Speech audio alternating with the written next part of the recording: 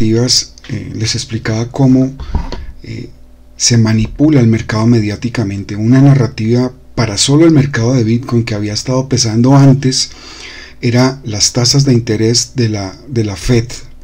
Fue una narrativa que duraron pedaleando como dos años, que eso influía en el precio de Bitcoin. Luego siguió la narrativa de los ETFs al contado o del mercado spot para Bitcoin, con lo cual han manipulado cualquier cantidad de veces el mercado para hacer su jugadita de liquidar las posiciones en futuros tanto al alza como a la baja, sacando noticias fake pero esto ya es eh, otra categoría de el nivel de descaro, de sinvergüencería y de ridiculez que pone a la, a al gobierno de Estados Unidos en ridículo mundial. No sé ustedes, yo lo he dicho hasta el cansancio, pero las instituciones de Estados Unidos son total y absolutamente corruptas. Uno no podría creer en absolutamente nada de lo que dicen.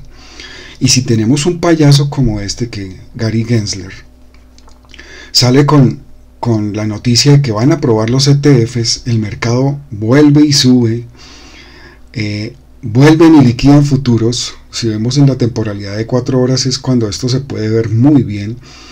Se da una clara manipulación del mercado para eh, liquidar futuros tanto al alza como a la baja, en largo y en corto. Y ellos ganan eh, una cantidad de dinero. Luego sale este payaso a decir que la cuenta de Twitter o X de la SEC había sido hackeada.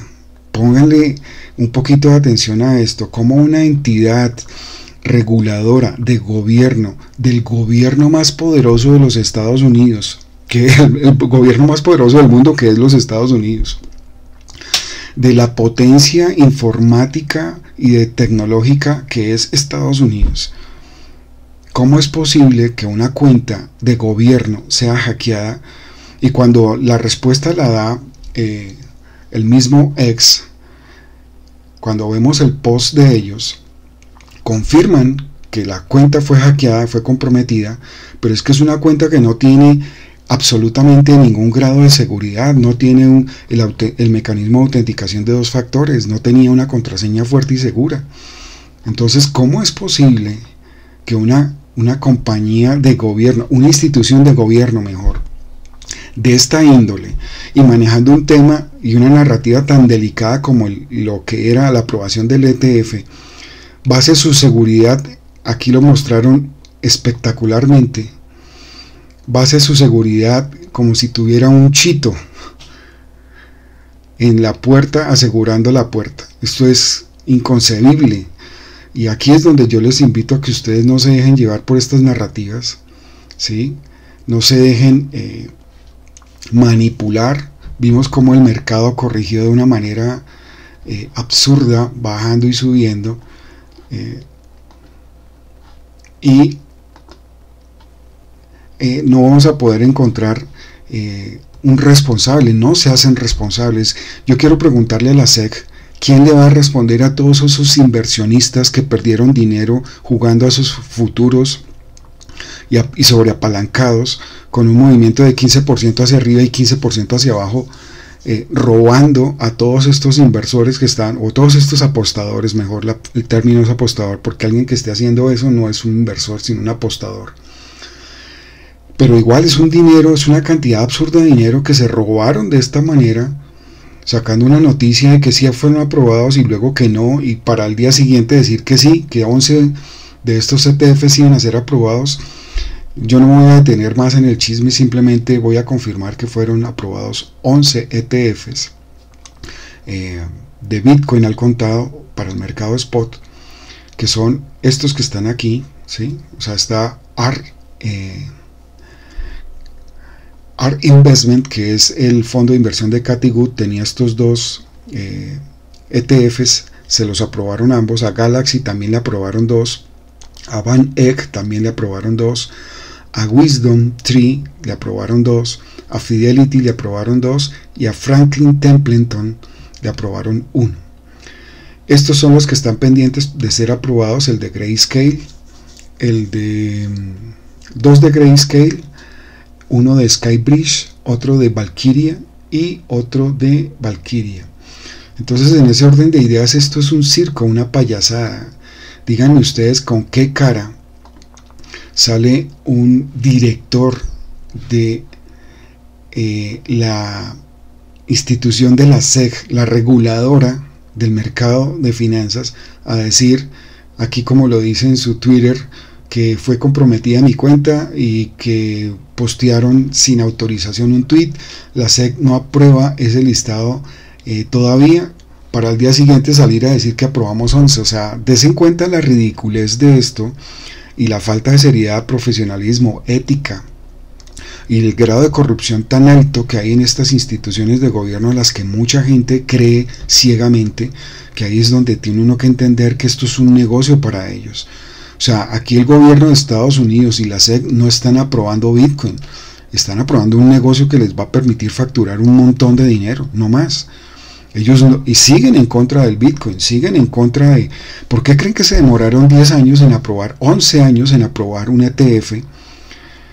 Eh, los hermanos Tyler y los hermanos Winklevox, los que crearon la, idea de, de, Facebook y que luego tuvieron un lío jurídico con Mark Zuckerberg, ellos están solicitando este ETF para para el contado del mercado spot de Bitcoin desde hace 11 años.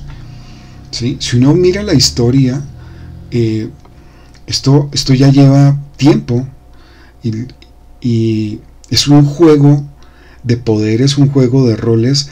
Eh, yo lo digo muy claro en la en uno de los videos de la saga de Coinspiracy, todos contra Binance, muestran cómo esto fue demorado, fue eh, extendido a su máxima expresión para beneficiar a, las empresas de Estados Unidos, a los exchanges de Estados Unidos.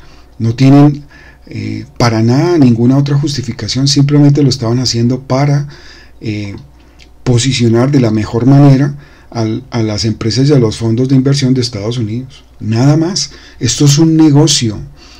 Y des en cuenta que a partir de ahora las reglas del juego van a cambiar muchísimo porque el mercado cripto ya está siendo controlado por eh, los fondos de inversión gigantes como BlackRock, Van Eck, eh, Fidelity, etc. Y eh, el orden de, de, de movimientos, las directrices, todo va a empezar a cambiar diametralmente. Entonces, para los que son tenedores de fracciones de Bitcoin, mi sugerencia es no las vendan. Hagan de cuenta que que tienen una inversión a 10 años, piensen en venderla por ahí en 10 años, no antes, porque ya la manipulación y el control del mercado cripto es muy evidente, es demasiado evidente. Aquí nos muestran cómo eh, pues Gary Gensler sale a decir que la cuenta fue comprometida, eh, que la SEC eh, también en su cuenta de Twitter sale a decir lo mismo. O sea, esto es un show, un circo, realmente eh, es lamentable y, es una vergüenza que una institución de gobierno de este calibre salga con este show y veamos cómo eh, el precio es manipulado de esa manera tan vergonzosa. No sé qué le pasó a, TradingView. Justo cuando uno la, la, va a usar, se bloquea. Voy a abrir de nuevo el par BTC contra, contra Bitcoin. Bitcoin contra Tether, perdón. Y aquí en la temporalidad de 4 horas es donde vemos el, descaro y la vergüenza de esto. Eh, ya se los he comentado en otros videos de la saga de Coinspiras y cómo ellos manipulan el precio para pelar arriba y pelar abajo. Los que tengan em, órdenes de futuros apostando a que el Bitcoin baja, lo hacen subir, los pelan, pierden. Y los que tengan órdenes eh, apostando a que Bitcoin va a subir, lo bajan y todos a perder. Entonces este es un movimiento que ya conocemos. Eh, el que apueste de esta manera, pues debe tener muy claro que es un mercado supremamente manipulado, que lo que hacen es únicamente pelar bobos. Este mercado está orientado a pelar bobos. Si usted cree que puede ganarles a, a estas ballenas pues considero que está en el lugar equivocado, pero total cada uno hace con su dinero lo que mejor le parezca y lo que mejor considere, pero esto es un esto es un circo, esto es una payasada, pero ya vemos que fueron aprobados, iban a ser aprobados, obvio. A BlackRock nunca le han negado un ETF, nunca. BlackRock es el jefe de la SEC. Esto es para los que entiendan y para los que no entiendan, los invito a que vayan a, mi canal, eh, busquen un video que se llama Corporatocracia y ahí explico lo más eh, simple posible cómo va esto. Las corporaciones son las que mandan en Estados Unidos, no el gobierno. El gobierno es un vil lacayo, un vil servil que está a merced de las órdenes que le dé la corporatocracia. La corporatocracia está dominando prácticamente el planeta, eso pasa casi que en todos los países. Hay corporaciones que son mucho más grandes que los mismos gobiernos y si no hay un gobierno serio, firme, íntegro, pues van a estar trabajando y, legislando a favor de estas corporaciones, de estas grandes corporaciones. Y en este caso no iba a ser la sección. Aquí vemos cómo la Comisión de Bolsa y Valores de los Estados Unidos finalmente aprobó este miércoles los fondos cotizados en bolsa ETFs de Bitcoin al contado, lo que representa un verdadero hito.